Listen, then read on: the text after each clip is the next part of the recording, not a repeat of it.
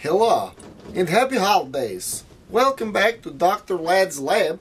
We are here with a special holiday Christmas edition for the products that fit into one of these little stockings. Now, I did not get these at home in Soviet Russia, so I appreciate Christmas a lot. And you see starting here on the outside, we got our very special loop rope. You'll notice everything in this stocking is available either on our store and in our catalogs. This loop rope is great for looping and hooking things like extra special bungee cord. We got some nice wilderness guides. These keep you safe. You can eat the mushrooms, do the first aid, learn about the survival, look at the stars. That's pretty cool. Learn about the medicinal and the edible plants so you don't die. That's pretty important. We also got this super secret pouch. What could be in here? I don't know. Maybe super secret RailRiders gear. Check this out. Did you know that your weather top could do this? Because I didn't until recently. And it's a pretty cool feature. You'll notice that even though it was all crinkled up, it still looks pretty fine. Then we got uh, the RailRiders, the Last Chance belt. This thing's so heavy duty you can rappel with it. But I'm not going to try that today. What else we got in here? This another new accessory on the shop. It's the fire starter kit. You got your special firewood. Excellent tinder here. You got your flinter so that you can spark it up. And you got this super awesome thing which I did not know what it was for for a long time. But you put on stick and roast the marshmallow.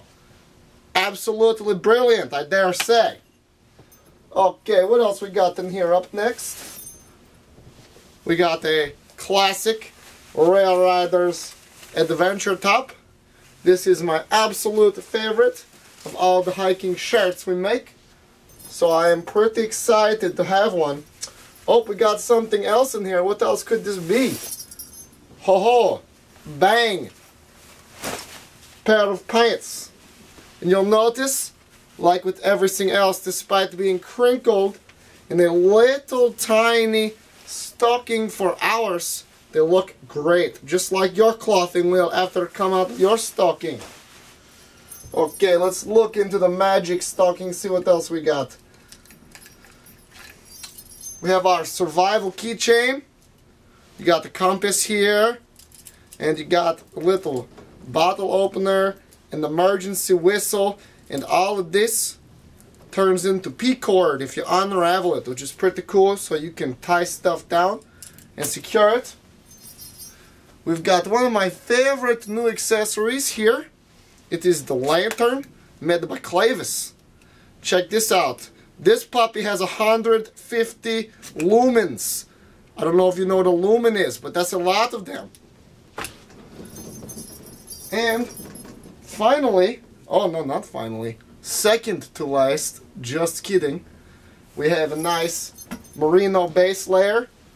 These puppies are very cheap compared to many competitors, and they are so soft you just want to rub them on your skin. Oh, so soft.